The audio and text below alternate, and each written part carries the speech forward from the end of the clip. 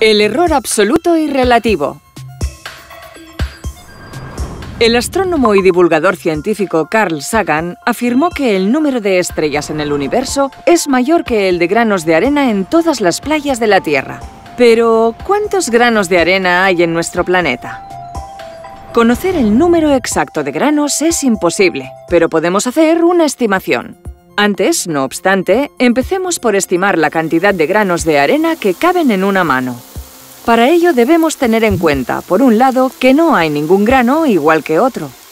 De este modo, consideramos que en un centímetro caben entre 15 y 25 granos de arena. Por otro lado, debemos tener en cuenta el tamaño de una mano. Esta, por ejemplo, mide 18 centímetros de alto y 7 de ancho. Si la arena es un poco gruesa, consideraremos que en un centímetro caben unos 17 granos. Así pues, en un centímetro cúbico caben 4.913 granos de arena. El siguiente paso es aproximar la cavidad de la mano a un cuerpo geométrico conocido. En este caso es el cilindro, cuya altura es de 7 centímetros y cuya base circular tiene una longitud de 18 centímetros. Con estos datos calculamos el volumen del cilindro y obtenemos un valor de 180 centímetros cúbicos. Si en un centímetro cúbico caben casi 5.000 granos de arena, en una mano caben más de 880.000 granos. Supongamos que este es el valor real de granos de arena que caben en nuestra mano. Si lo comparamos con el valor que hemos estimado, afirmamos que se trata de una aproximación por defecto.